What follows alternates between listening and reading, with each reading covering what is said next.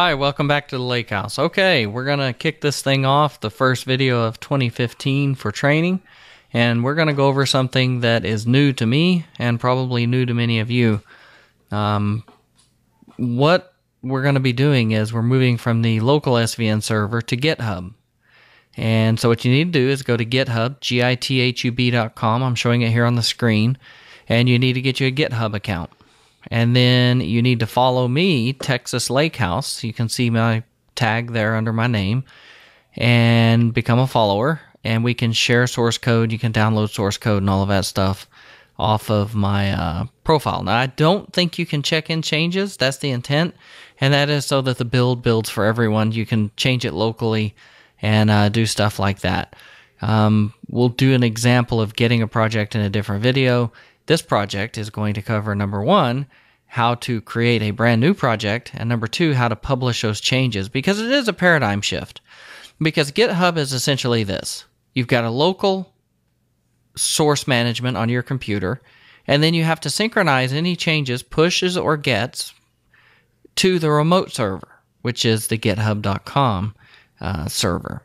So it's it's a bit of a pain uh, at first, but once you get your, your head wrapped around it, or once I did, um, it was a lot easier. So we're going to go ahead and go through here and do it. So the first step is always create a project under your repositories in your GitHub account. So we're going to create our first one here. We've got one here where I was doing some testing, but we're going to add a repository since this is 2015 and it's a real video. We're going to call this GitHub, GitHub add new project. And I obviously can't type today. So we're going to hit new.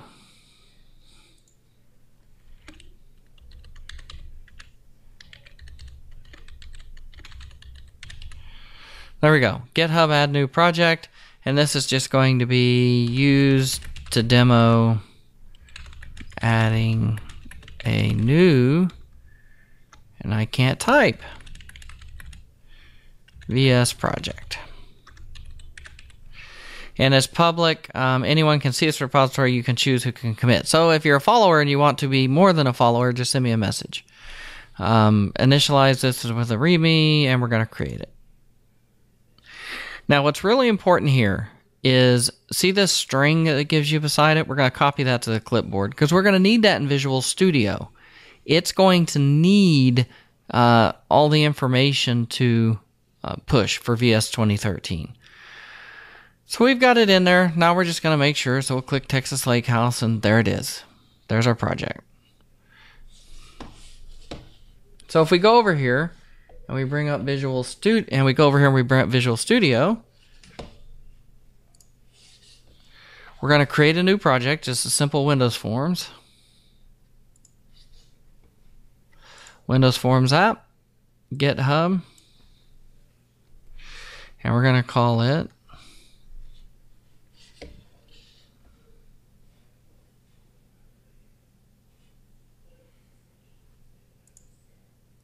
GitHub add new project.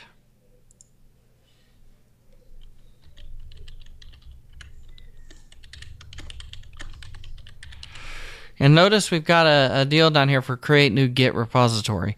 So that doesn't create it on the remote server being github.com. It creates it on your local machine. And I have, if you look, development, this RAID 0 array. I have my machine, YouTube, and GitHub. So it's going to create it in that folder locally and put it under source control, but not yet on the server. So I'm going to create it. And I'm just going to add a, uh, a label to it. Nothing else. Now, Notice we have pluses, meaning that all of this stuff is new additions. Now I can come over here and I can right click and I can go to uh, commit and commit these um, new project initial add and I can commit them. You're gonna ask me to save my changes. I'm gonna say yes. So now if I looked over here at Solution Explorer, it looks like everything's checked in, right? But if I go back to GitHub and I look here, there are no commits. So that's not what we want. Whereas if I look at this project, we can see that there were some commits. So what we've done is we've committed it locally, but not remotely. So we need to get that squared away. We need to get that fixed. So what we're going to do is we're going to go back here and we're going to go down and we have to basically tell it where um, where is it? Where is this remote server? Uh, what do I need to do? And let's make sure that um, we've got it in here. Uh, got to have one bug, right, for 2015. So what we've got is we've got a deal over here. We'll go to Team Explorer. This URL, where is your GitHub server? That's that thing we copied to the uh, pasteboard. There we go. There it is. And we're going to hit publish. And there we go. Now, your first time you ever do it is probably going to ask you for your username and password of your local GitHub account that you create, your remote GitHub account. So you'll have to enter that.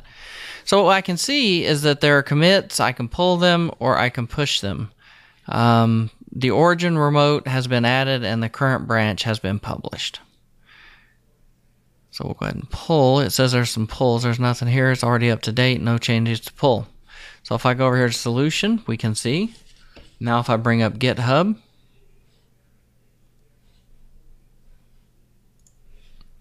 and I go over here,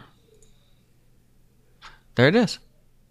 There is my push. It shows up. So not that big of a deal. It's just an, a, a little different way to think about uh, source control. And if I change something, let's say I added a second label, it's going to show as a change. I can commit that change um, here, and I can just say I've added a new label. The typing woes continue. Add a new label, commit it.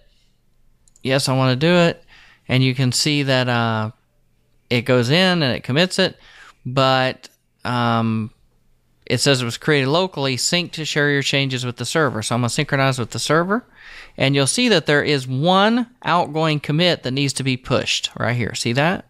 And it tells me what it is. So I'm going to go ahead and push that, and it pushes it. And if I go over here to my GitHub now, and if I come over and I refresh this page, You'll see 32 seconds ago the new label was added. No big deal. So that covers it. That covers, and we're a little bit over our time limit here, but we had some technical difficulties I apologize for. Maybe I'll edit it out in post, but that would kind of ruin the channel, right? I don't really edit stuff. So we're going to publish this up, get it out there to you. GitHub is awesome. Like I said, please follow me on GitHub. I need some followers. Uh, so I can help me test. I know we're just getting started again, so I expect it to take a couple weeks to really take off. But uh, thanks for uh, stopping by. Thanks for your attention, and we'll see you next time.